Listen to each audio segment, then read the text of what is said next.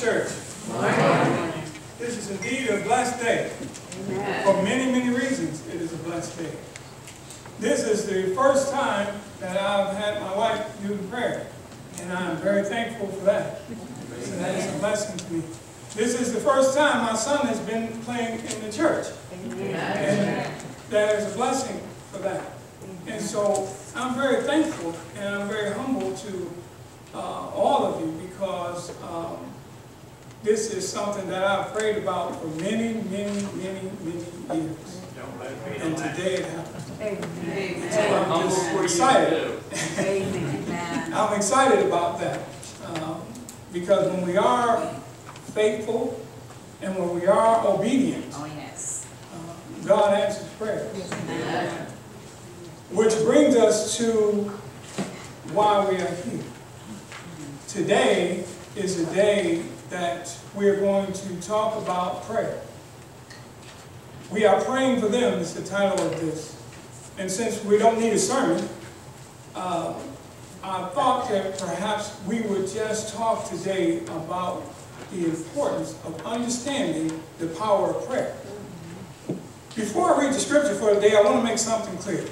And I'm going to say something that may seem a bit excited to some of you. Some of you may not agree with it. It is a very bold statement. But here's my statement. And please forgive me if it offends you. When the church understands the power of prayer, 50% of the work of the ministry will be done. Amen. I'll say that again. When the church understands the power of prayer, half of all the work of the gospel will be completed. Amen. Now, why do I say that? Because the Bible says clearly that there are two great commandments. The first one says that we will love the Lord thy God with all thy hearts, all thy soul, and all thy mind. The second is like unto it, to love our neighbor as ourselves. The Bible says on these two commandments hang all the laws and the prophets. So the first part of that is to understand that we need to love our God with all our heart, soul, and mind. Amen. And our communication with the Father is through prayer. Amen. The world that we live in was created by the spoken word. Everything that God created was created with the spoken word, except one thing. What is the only thing that God created without the spoken word? Amen. Man. Each one of us. Now, why is that significant? Because everything that God created has to obey His will.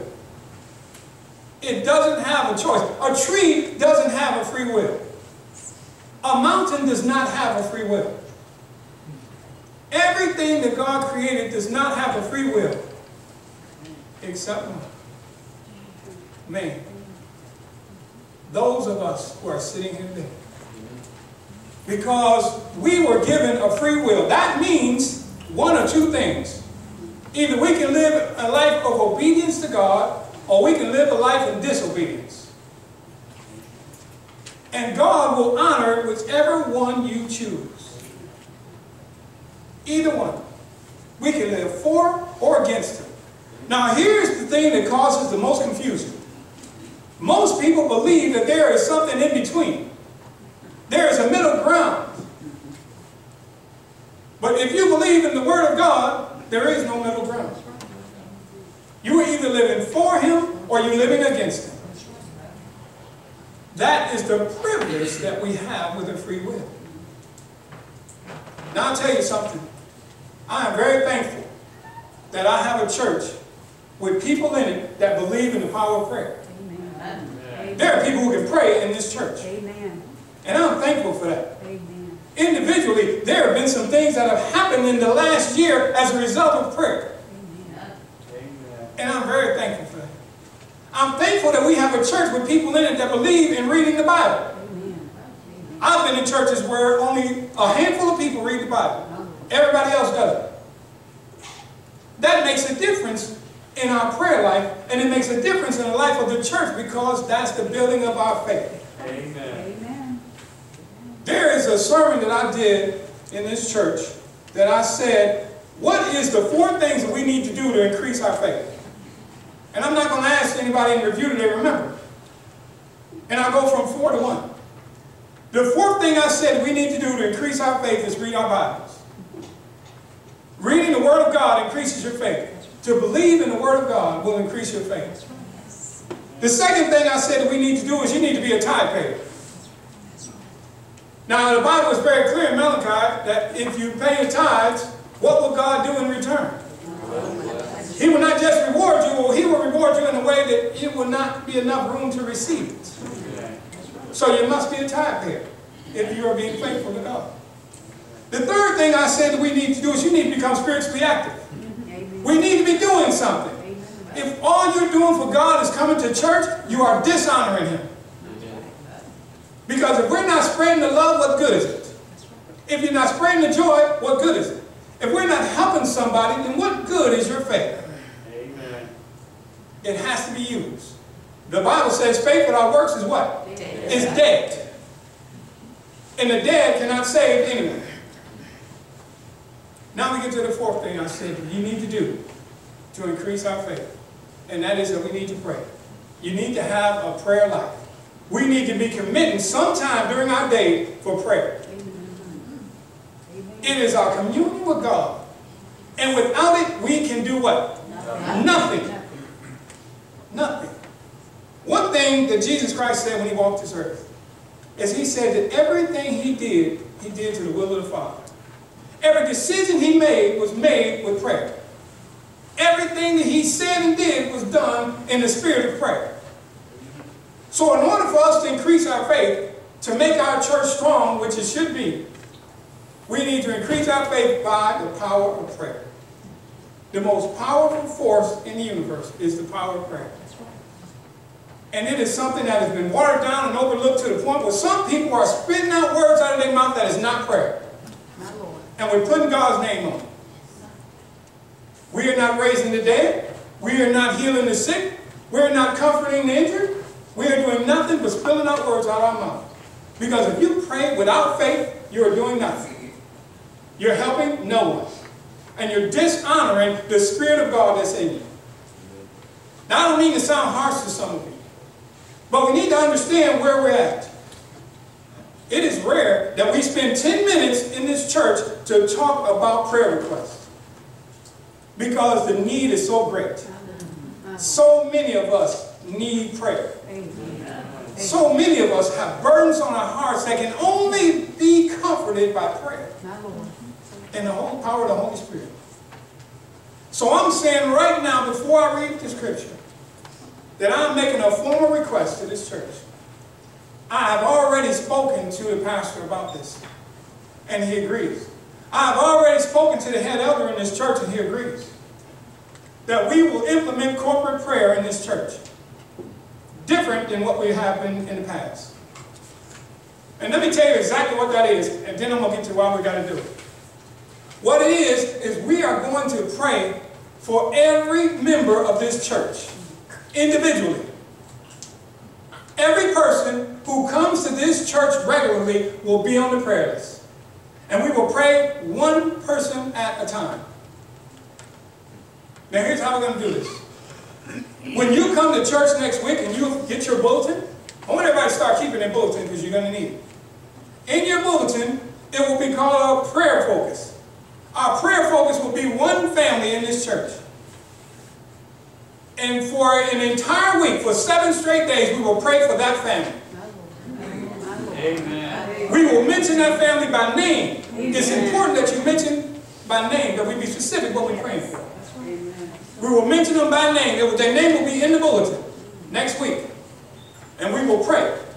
Amen. I specifically will pray at 12 o'clock in the afternoon and at 6 o'clock in the evening. Because if I ask you to do it, I got to do it double. I will pray two times every day for a family in this church. And I'm going to tell you something else. When we pray, before we begin to pray for each other, we've got to have forgiveness. You have got to have forgiveness for your brother or your sister. If you have aught against anybody who is sitting in this room, don't leave here without reconciling. Because you can't pray out of one side of your mouth and curse somebody out the other side. You can't do that. For this to be effective, we need to forgive each other. And we're going to pray every day. And I'll tell you something else. In the Bible, fasting is associated with prayer. If you don't know what fasting is, come and see me.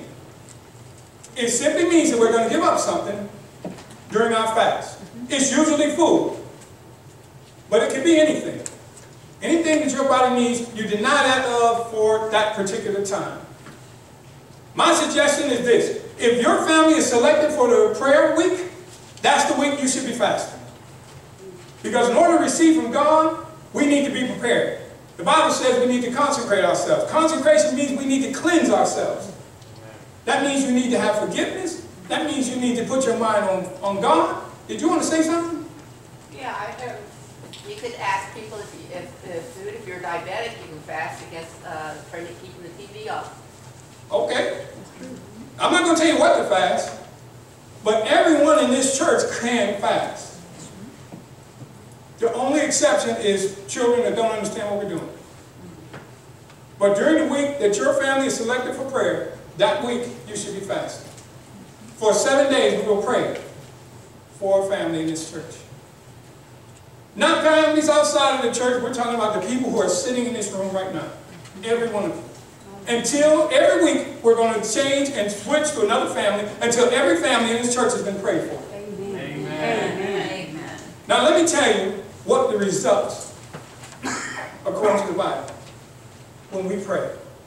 Do you realize when we pray together, we are not just simply making uh, a spiritual request.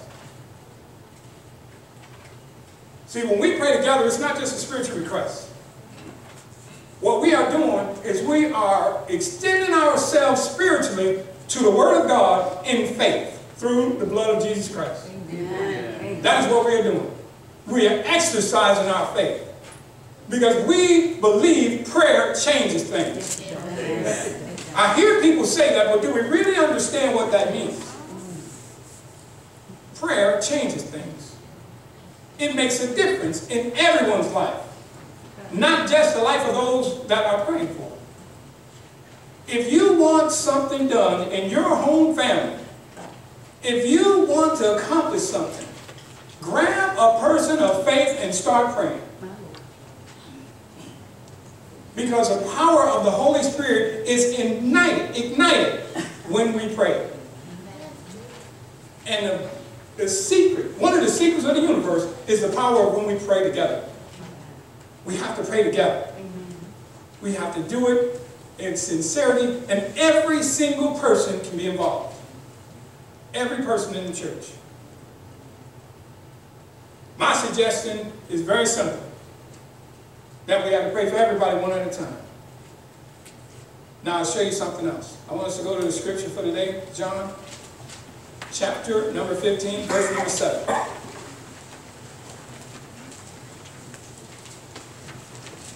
The Bible says, and I'm reading from the King James Version, If ye abide in me, and my words abide in you, ye shall ask what ye will, and it shall be done unto you.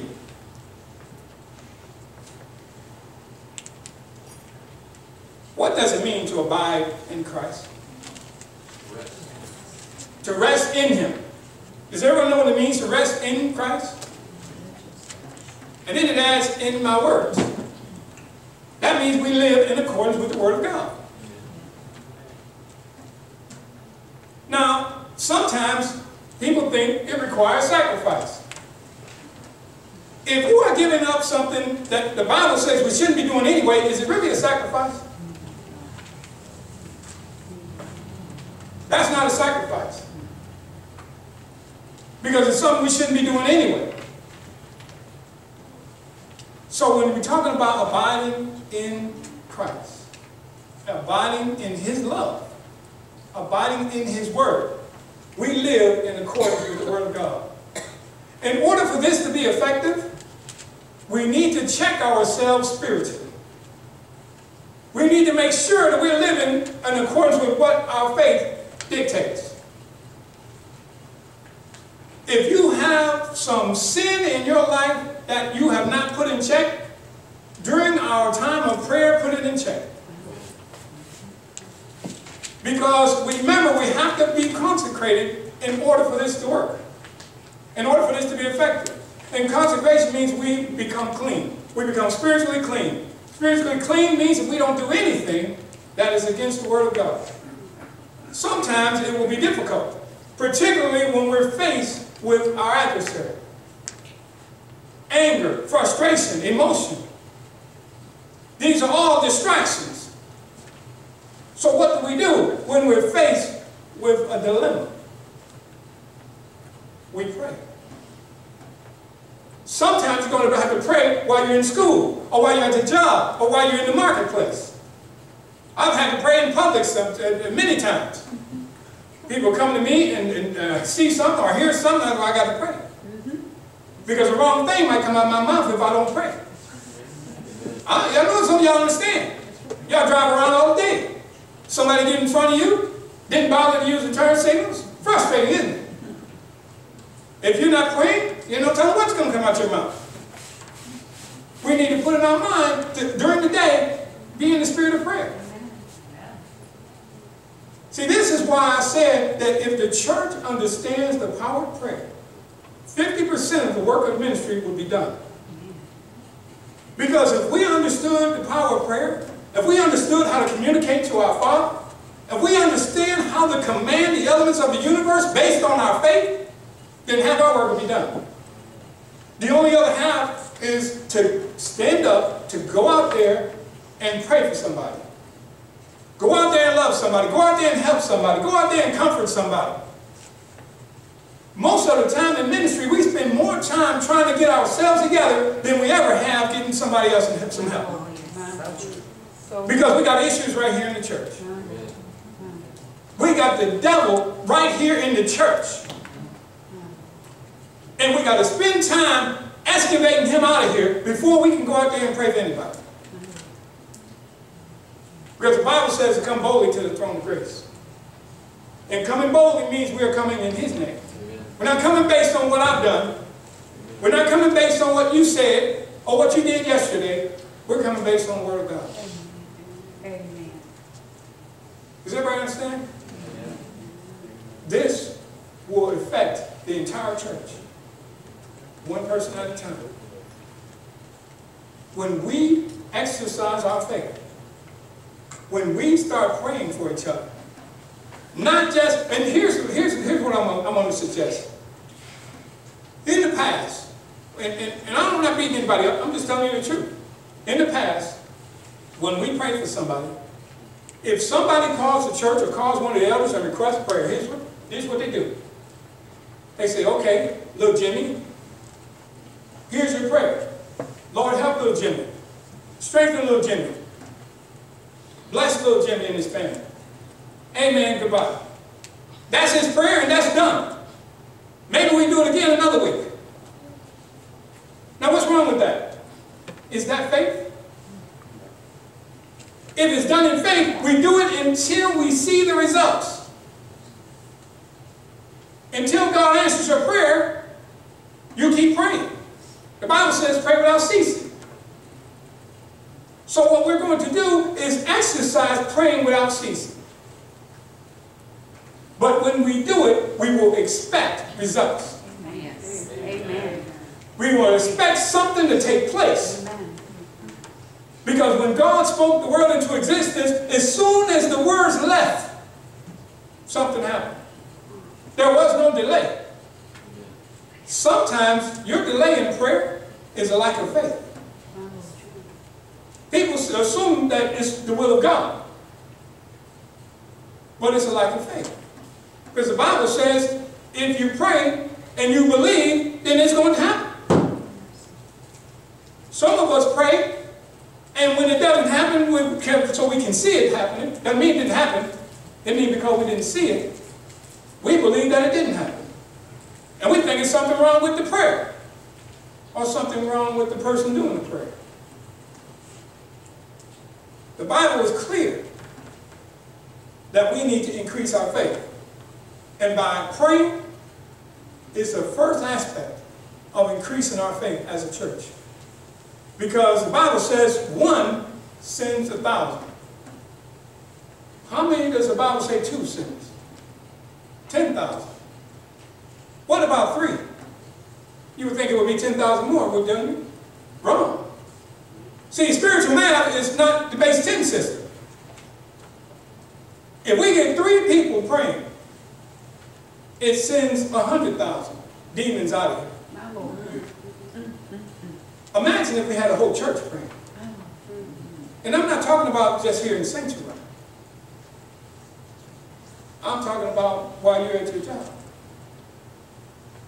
Now let me ask you, and I just want you to just raise your hand. How many people in the last year, in the last 12 months, have seen any kind of miracle from God?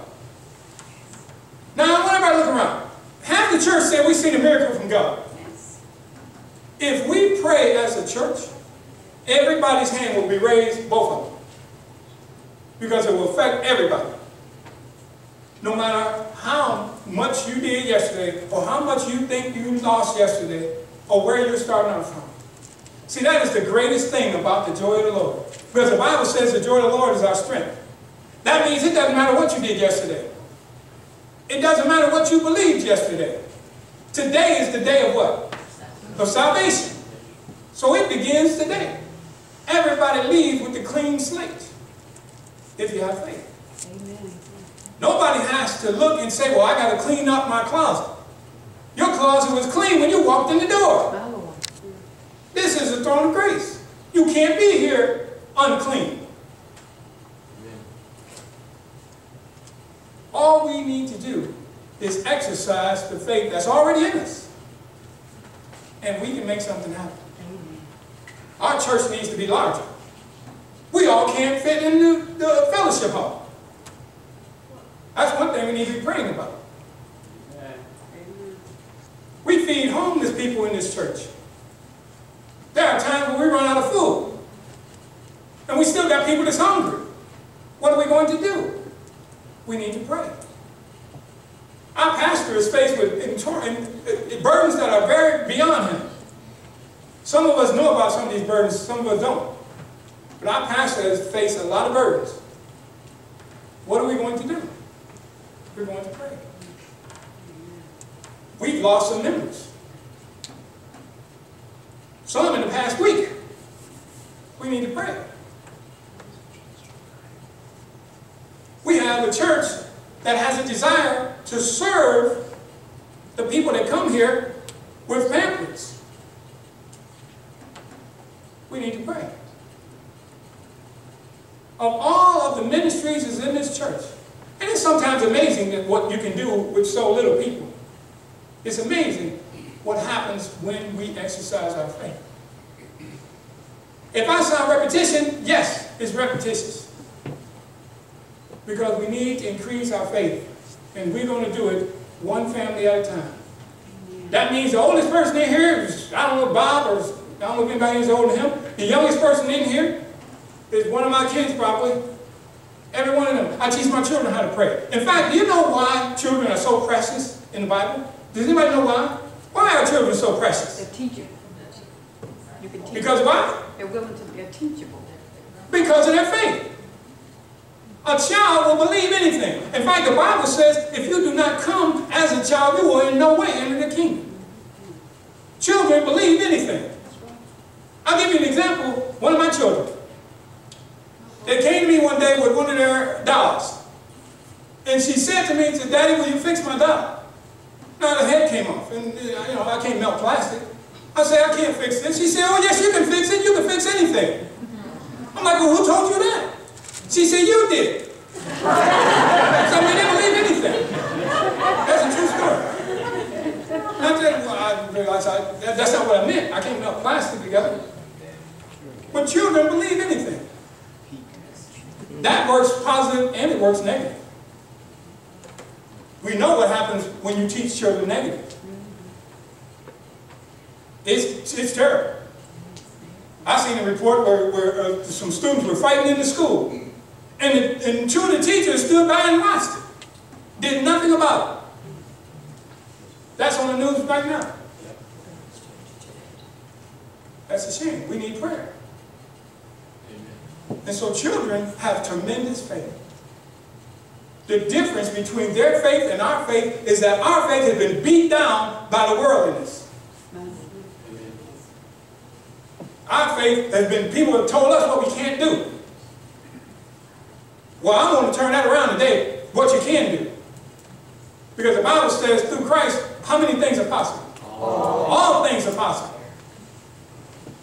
And all of these ministries in the church need help. All of the people who are here in the church, even people who regularly visit this church who are not members, need help. We're obligated to help them, aren't we? Don't we love them? Did I lie when I said this church has love in it? They need help. And guess who's in a position to help? You are. All of us. Because what they need the most is what we have least to give them. We need to release the power of the Holy Spirit on this church. We have done, we have gone too long without it. Too many of us are praying by ourselves. Too many of us in small groups are, are, are blessing other people. We need to do it as a church. And if we do, then every person in here will benefit in the results. Now, if you would, turn to Job 42, 10. Job chapter 42, verse 10. And I want to make a request that somebody read it for me. Somebody read it out loud so everybody can hear it. Job chapter 42, verse 10. Who can read it for me? Ricky, volunteer. Thank you. And the Lord restored Job's losses when he prayed for his friends. Indeed, the hmm. Lord gave Job twice as much as he had before. Isn't that something? When Job prayed for his friends, God gave him twice what he had. Some of us need something extra. If we take our focus off ourselves and put it on our brothers and our sisters, then what does the Bible say God will do for what our needs are? He will multiply. And I like multiplication, especially spiritual multiplication. Because spiritual multiplication is not 2 plus 2 equals 4 or 2 times 2 equals 4. That's not spiritual multiplication. Spiritual multiplication says tenfold, a hundredfold, a thousandfold. So when we're praying for our friends or our brothers and our sisters, our needs are being met in faith. That's all I'm asking you to do. Is to pray for your brother or your sister in this church. Reconcile yourself first. Be cleansed. But take time out in one day, every day, to pray for a family in this church. Can we do that? Amen. Just pray for them. It would help if you called them up and said, listen, I know you don't know me. I'm just a a brother in the church. I just want to know, can I pray for something for you? Because we need to pray specifically. We need to be specific as possible what we're praying for. If your brother or sister needs something, say, I want someone to pray for you. Every day. I will do it at 12 o'clock noon and at 6 o'clock in the evening every day. It makes a difference if we do it together. But I'm not saying when you pray. And remember, whoever the person, whoever the family we, that chosen the prayer, that week you should be fasting. If you have any problem or any questions about your fast, come and see me. I'll help you. So I want everybody, when we when you come to church next week, just look in your bulletin. And then say prayer focus, and whoever the family is will be on that prayer, on that prayer focus. Does that mean we're going to stop praying for the people on the prayer list?